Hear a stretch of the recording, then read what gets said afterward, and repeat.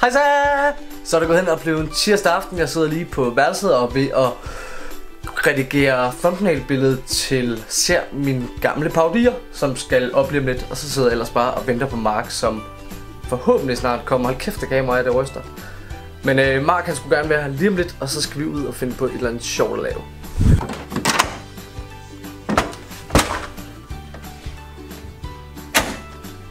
Hej. Har du det godt? Ja. Så er Mark lige kommet. Sig hej. Hej. Og vi skal lige finde på noget at lave, så vi vender tilbage. Okay, nu har vi fået den geniale idé, at vi skal til Nyborg, og så skal vi ud og prøve at ride. Glæder dig helt meget, Mark? Jo. Skide godt. Mark han har sagt otte gange, at han ikke skal op på den hest, men han... Vi ved jo godt alle sammen, at det, Kommer han ikke. det gør han. Så lad os, øh, lad os lige spole øh, tid, øh, lad os lige spole lidt, øh, så lad os lige øh, spole lidt frem i, øh, i, i tiden. Sprogspasser. Ja.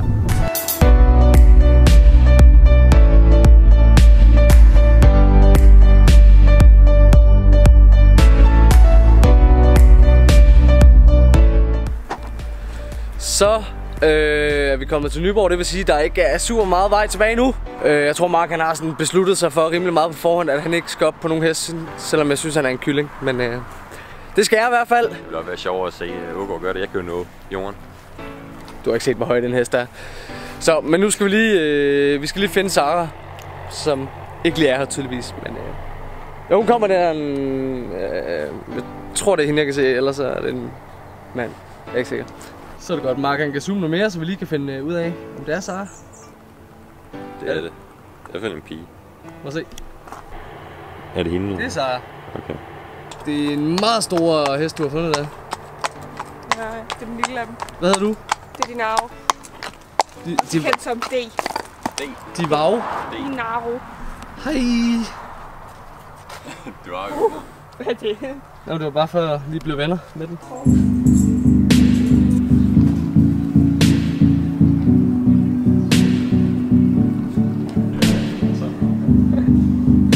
Hvem er det, der ikke vil op og ride mig?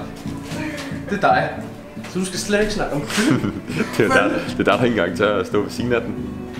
Du tør ikke at ride på den, det skal jeg også gøre. Jeg har bare ikke lyst.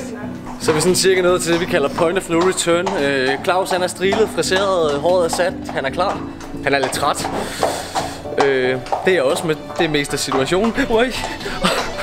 Og øh, så har hun heldigvis kommet en snor i ham, så øh, forhåbentlig så, så overlever vi. Mark han tør stadig ikke. Kylling.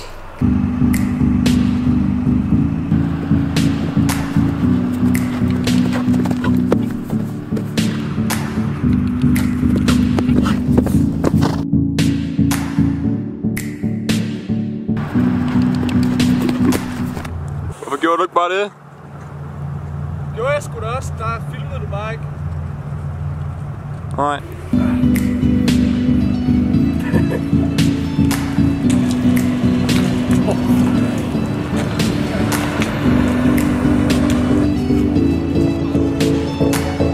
Nu kæft for det her ridning. Det er for nemt jo. Altså, det, det kører bare derud af. Vi cruiser lidt stille og roligt. Øhm, vi overvejer lidt at tage McDonald's. Claus er lidt sulten, det er jeg også. Øhm, problemet er bare nærmest McDonald's. Det er i Nyborg. Det er lige, lige et godt stykke herfra. Øh, så det har vi besluttet os for, det gør vi ikke. Vi, øh, vi skal over, så skal vi have lidt græs og spise. Og øh, det er vigtigt med kosttilskud. Øh, hvad laver du? Hvad er lav? Jeg har... Jeg, nej, nej, nej. Jeg har kun fat med en hånd, så... Jeg, Jeg er fast med den anden hånd. Psykopat. Held og lykke. Men, øh, mig og Claus, vi smutter fra McDonald's. Har har. Kan du enten dreje til venstre? Nej, ikke rigtig. Mark! Er noget galt med styretøjet. Har du ødelagt den? Måske. Ja, den skal du hoppe over. Bare spark til den. Krav. Spark. Kom så. Woohoo! Okay, det kom så opsøget. Så prøver jeg, jeg sgu da Styrer imens jo. Ja, ja. Det er faktisk pisse længe siden, at du skal ikke slå den. Det er meget længe siden, jeg har travet. Er nu. Ikke så hurtigt trav. så hurtigt trav. Ja, vi træder to meter, nu står der. Ja, han er meget sød. Han hedder også Claus. Hej Claus. Så over smadret mark.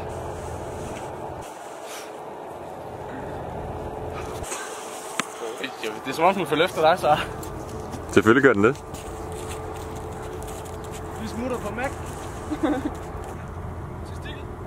Det er stikkel. Jeg kan godt mærke, hvis klunker, der er mest udsat her, hva'? Claus, han er ligeglad. Han har ikke nogen mere. Det er jeg ked af. Kan du klare at lave et eller andet spændende? Det er prøver, men han er ikke så... Claus er ikke så glad i dag. Så kører vi Claus. For fældt. Der er stængen, der er stængen, der er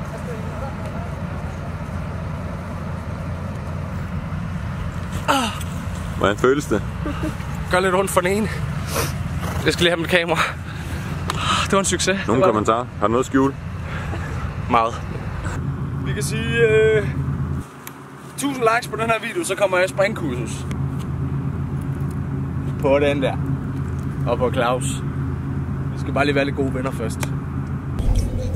Line får sgu da epilepsi. Oh my god. 50 kroner. Lukker. tak.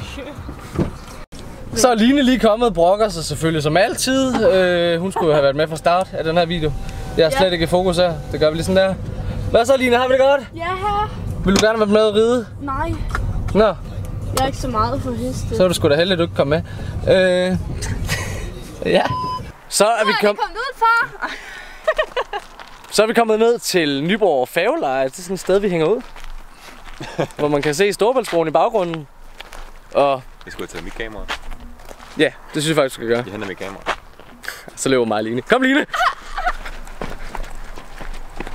Vi skal lige ned på, øh, på kanten her, så skal vi bare sidde og, og snakke og hygge os og, og have det lidt sjovt. Hey. Det var perfekt. Line er blevet klippet. Ja. Shit. Hej.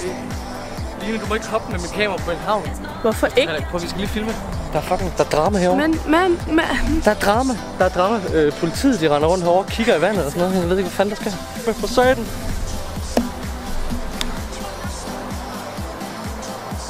Så er vi lige kørt væk fra Knuds hoved vævleje. Vi ved ikke øh, helt faktisk, hvad der skal ske lige nu. Lige nu der, der kører vi bare med en hyggetur. Hvorfor er der fokus på Mark? Det der når være noget. Når det er mig, der snakker. Undskyld mig. Lige nu der kører vi bare en hyggetur i Nyborg, og så, øh, ja, hvis der, kommer, hvis der sker noget spændende, så øh, blogger vi lige videre, og ellers så sker der det her.